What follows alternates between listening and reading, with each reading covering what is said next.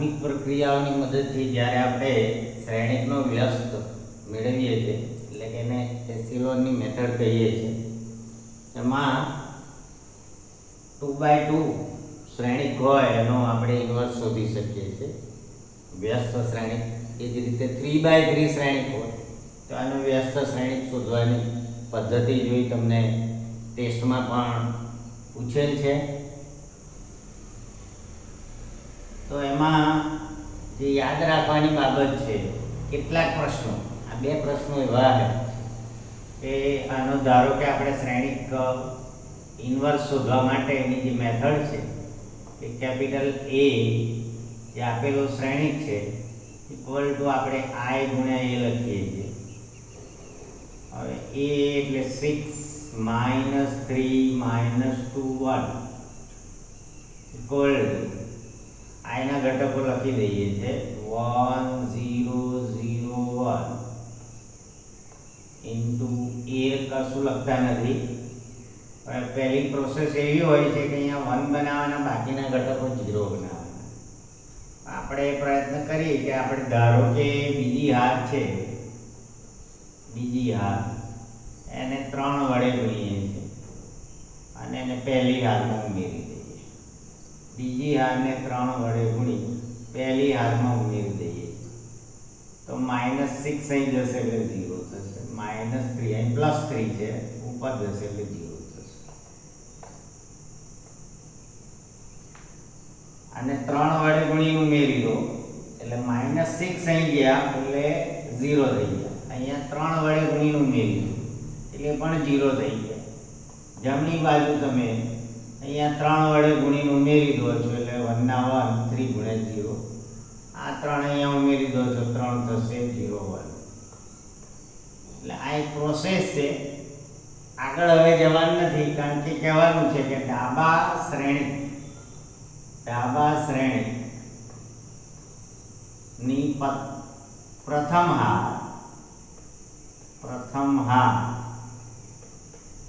ના તમામ ઘટકો તમામ ઘટકો શૂન્ય હોવાથી હોવાથી એનો વ્યસ્ત શક્ય નથી. બાકીના ટુ બાય ટુ એટલે કે ચોરસ શ્રેણીકમાં આપણે જેના જવાબો મળે છે એવા તો પ્રશ્નો જોયા જ છે. આગળ જતા આપણે ખાલી નિશ્ચયક જ જોવાનો છે કે ચાર ઓછા ચાર એટલે ઝીરો આવે. એટલે કદાપી એ ઇન્વર્સ ના છ ઓછા છ, ચોકડી ગુણાકાર. છ એકા છ ઓછા છ. ઝીરો આવે એટલે ખબર પડી જશે, પણ જ્યારે આ પદ્ધતિ લખેલી છે, પ્રાથમિક પ્રક્રિયાઓની મદદથી અથવા એસિલોનની મદદથી શ્રેણિકનો વ્યસ્ત મેળવો, ત્યારે આ એક મેથડ છે એ પકડી રાખવાની છે. પેલી નિશ્ચાયકમાં જતું રહે છે. કે નિશ્ચાયક એનું મૂલ્ય જો ઝીરો આવે, તો એનો વ્યસ્ત શ્રેણિક મળતો નથી. પણ એ ચોથા ચેપ્ટરમાં જશે. અહીંયા નહીં, અહીંયા આ જ મેથડ કરવાની છે કે શ્રેણી કે ઇક્વલ ટુ આઈ ગુણ્યા એ લખવાનું છે.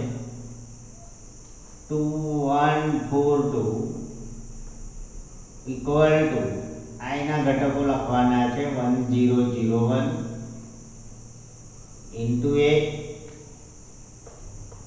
there અહીંયા પણ તમે આસાનીથી જોઈ શકશો કે પ્રથમ હારને ઓછા બે વડે ગુણી બીજી હારમાં ઉમેરી દો પ્રથમ હારને ઓછા બે વડે ગુણી, બીજી હારમાં ઉમેરી દો ઓછા બે એટલે ઓછા બે ગુણ્યા ઓછા બે ઓછા ચાર તમને બીજી હારમાં જશે. એટલે પ્રથમ હારને કંઈ નહીં થાય, પણ બીજી હાર ઝીરો થઈ જશે, ઓછા બે જશે એટલે ઝીરો થઈ જશે. Equal to one zero zero આ જે પદ્ધતિ છે એને આપણે પકડી રાખીએ. છે મેથડ એસેલો તો કે દ્વિતીય હારના દ્વિતીય હારના તમામ ઘટકો શૂન્ય હોવાથી કયા શ્રેણી શ્રેણીકના? ડાબા શ્રેણી ડાબા શ્રેણી દ્વિતીય હારના તમામ ઘટકો શૂન્ય હોવાથી ઇનવર્સ શક્ય નથી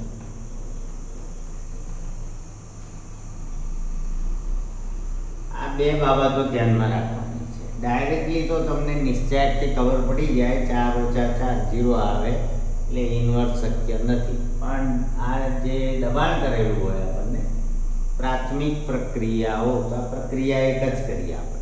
ચાર વનને ઓછા બે વડે ગુણી ઉમેરી જીરો થઈ જાય. બે ઘટક જીરો લાઈનમાં આવવા જોઈએ. દેખાડમાં તો સ્તંભમાં. એટલે એ ઇન્વર્સ ના મળે. બાકીના દાખલામાં મળે છે એટલે આપણે ગણેલા છે.